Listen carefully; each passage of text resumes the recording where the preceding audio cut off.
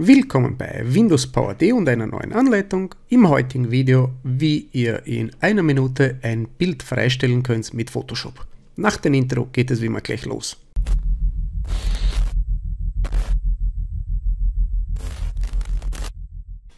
Das ist der Start der Reihe Photoshop Anleitungen und zwar wollen wir euch in wirklich, wirklich einfachen Schritten zeigen, wie ihr verschiedene Effekte aus euren Bildern machen könnt oder wie ihr eben Objekte freistellen könnt.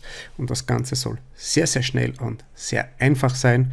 Heute eben freistellen und das Ganze in einer Minute. Freistellen heißt Objekt ausschneiden, woanders einfügen.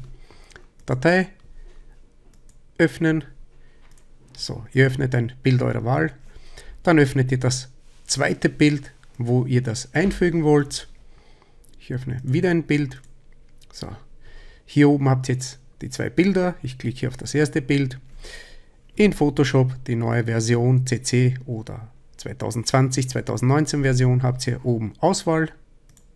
Dann Motiv. Und wenn ihr das gemacht habt, habt ihr euch erspart, das Ganze mit dem Lasso-Tool zu machen, sondern das Ganze passiert automatisch. Jetzt nur noch mit Steuerung und C Wechsel zu dem anderen. Bild, Steuerung V, schon ist das eingefügt.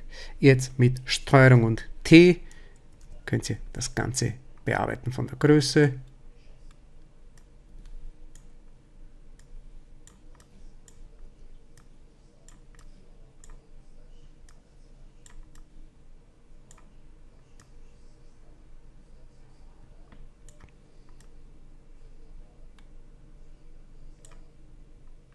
Ich lasse mal diese Größe, ihr könnt natürlich eine verschiedene Größe oder diese hier schaut noch besser. Mit Enter bestätigt er das Ganze und das war es auch schon.